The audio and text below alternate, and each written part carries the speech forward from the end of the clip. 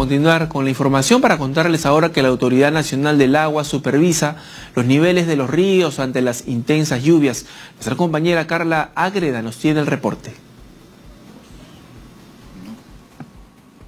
Gracias por el pase y en este momento nos encontramos en el Observatorio del Agua para conocer sobre el aumento de los caudales y cómo podrían afectar tanto a la región Lima como también a las distintas regiones del Perú. Y en este momento para conocer los alcances de todo esto sobre los recursos hídricos, estamos con el señor Juan Carlos Montero, que es jefe de la Autoridad Nacional del Agua, para que nos cuente sobre el monitoreo que están realizando aquí.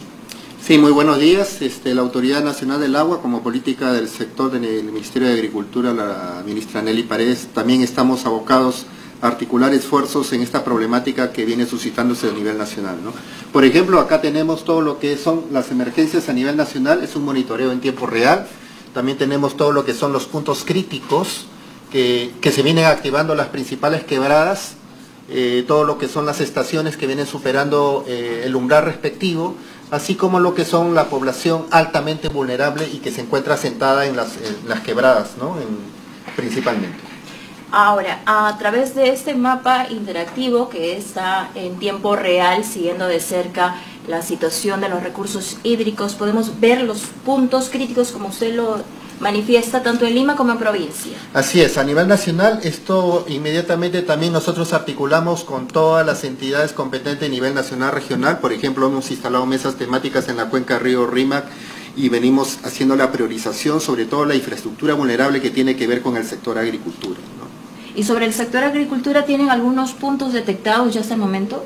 Sí, sobre todo toda la zona norte ahorita viene siendo reportada una afectación de bocatomas, infraestructura hidráulica mayor, eh, que requiere una limpieza de lo que es este, los drenes. Sin duda hay una afectación ahorita que viene creciendo progresivamente en todo lo que son los cultivos, ¿no? lamentablemente, pero es uno de los aspectos que tenemos, venimos reportando progresivamente.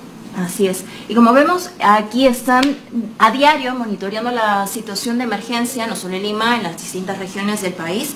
Recordemos que se han declarado siete regiones que son las afectadas y para conocer un poco más de cerca cómo se está monitoreando y cómo también los ciudadanos podrían acceder a esta información en tiempo real, es que nos encontramos aquí con el ingeniero eh, John Bautista Mejía, que nos va a dar más alcances sobre esta manera en la que cualquier ciudadano puede acceder a la información que ellos están de cerca sí.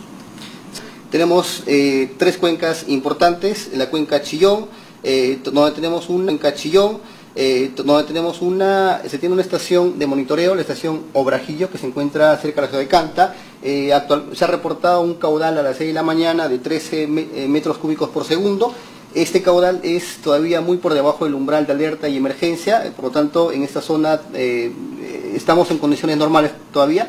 Por otro lado tenemos la cuenca eh, Rima también, eh, aquí se tiene una estación importante, la estación Chosica, en el río Rima se, tiene actualmente un caudal de 57 metros cúbicos por segundo, registrado a 6 de la mañana de hoy.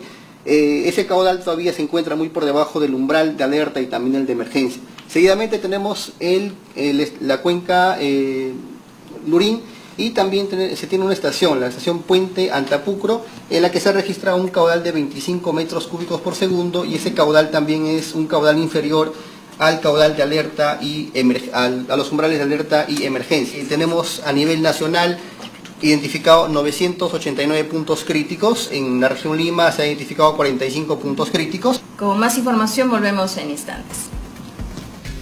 Bien, muchas gracias. Nos vamos ahora a Casma. Ahí se encuentra nuestro colaborador Jerry Altuna.